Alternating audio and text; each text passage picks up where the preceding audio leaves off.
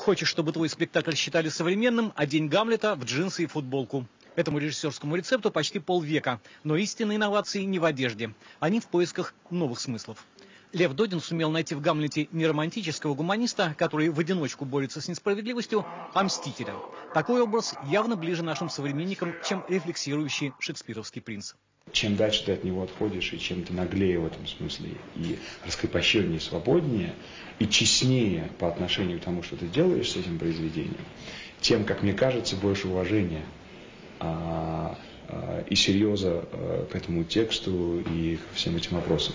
Возможно, поэтому знаменитые гамлетовские монологи Данила Козловский произносит иронической скороговоркой. Зачем повторять хрестоматийное «быть или не быть», когда жизнь требует другого – бить или не бить? И как сделать так, чтобы удар получился больнее? Идея мести превращает Гамлета в одержимого убийцу, который преследует и практическую цель – вернуть себе датскую корону. Еще 20 лет назад такого героя публика вряд ли приняла бы. Каждое время как-то отвечает на вопрос, э, кто сегодня Гамлет, что сегодня Гамлет. Поэтому все Гамлеты разные. Вопросы не, не волевой интерпретации, как часто думают, а просто потому, что сегодня это так слышно, так звучит.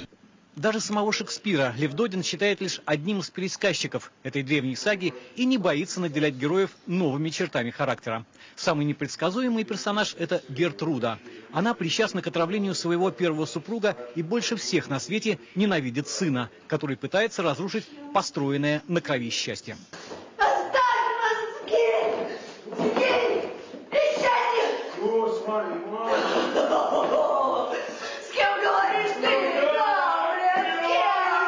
Отношения Гертруды и Клавдия режиссер вытаскивает из тайных альковов прямо на авансцену. И эти обнаженные человеческие страсти сразу вызывают сочувствие у зрителя. Художник Александр Боровский хорошо поработал с символами. Красная обувь на ногах убийц напоминает о том, что они связаны не только страстью, но и преступлением. Вообще Гертруда, похоже, самый брутальный персонаж этого спектакля. Если бы Гертруда занималась, э, как сказать, политикой, то она бы мир погубила.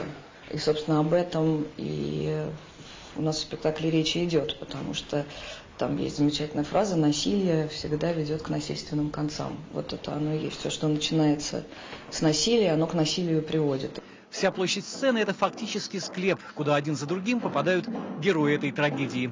Как ни странно, в спектакле нет Лаэрта. Естественно, здесь нет и привычной финальной дуэли, которую ждет зритель.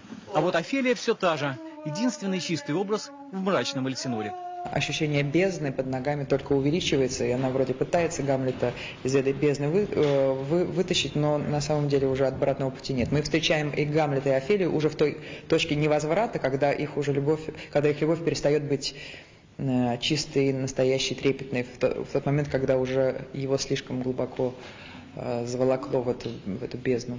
К концу спектакля почти все участники драмы отправляются в могилу. Причем именно Клавдий поступком отвечает на гамлетовский вопрос, добровольно выпивая яд. А победивший Гамлет превращается в самодовольного властителя. По историческим законам трагедия превратилась в фарс. Благодаря языку пластики мы узнаем в короле Шута, возможно, даже того самого бедного Юрика. Круг замкнулся. Дмитрий Исковский, Юрий Мороз, Николай Шведов. Вести.